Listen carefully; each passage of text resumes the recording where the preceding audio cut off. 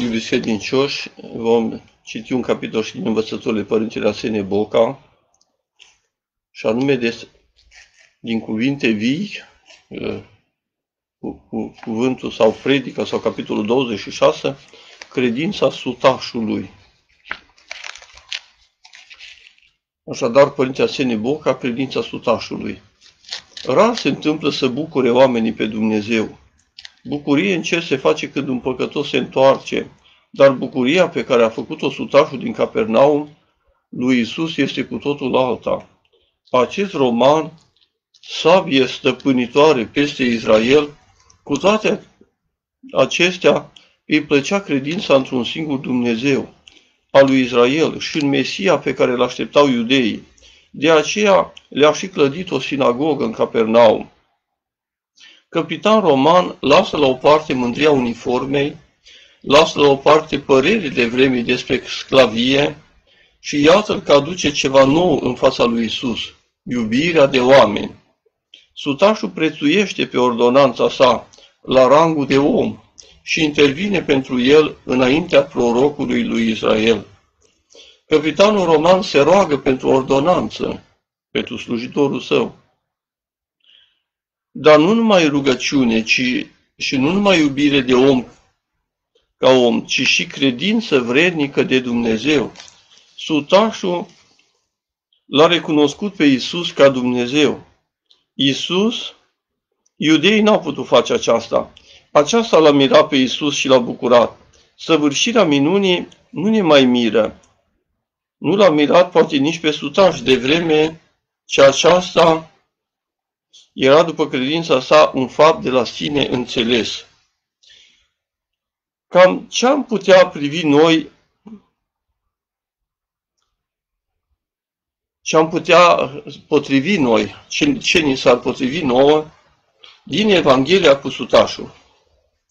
Cred că aceasta, ce preț are înaintea lui Dumnezeu credința fără discuție în Isus Hristos ca Dumnezeu și ce bucurie îi făceau lui Isus dovezile iubirii de oameni, mai ales când aceștia erau neînsemnați. Că nu-i neapărat trebuință să vie Mântuitorul personal, pe jos oarecum, ca să săvârșească lucrul lui Dumnezeu. Ce bine ar fi să avem și noi smerenia pe care o avea sutașul a nevreniciei de a intra Dumnezeu în casa noastră, că tocmai această smerenie îl silește pe Dumnezeu să vie și să pună în rând ale noastre toate. Că numai o viață curată e în stare să asigure darurile acestea sufletești care l-au bucurat pe Isus. Să-i fim recunoscători acele asutași roman care ne-a dat model de curăție, de credință și de curăție sufletească. Să fim recunoscători că în locul nostru Totuși s-a găsit cineva să-l bucure pe Isus.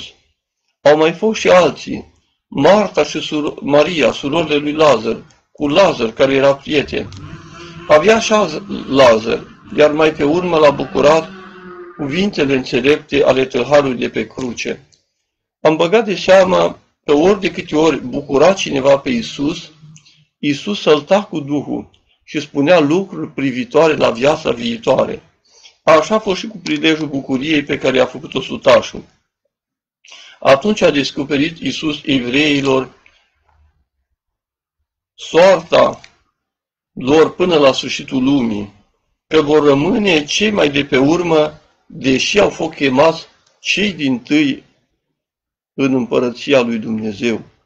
Dar dacă noi creștinii suntem înaintea lor, asta nu putem menține decât prin credință după modelul sutașului. Prizlop, 10 iulie 1949. Dumnezeului nostru slavă, acum și pururea și în vecii vecilor. Amin.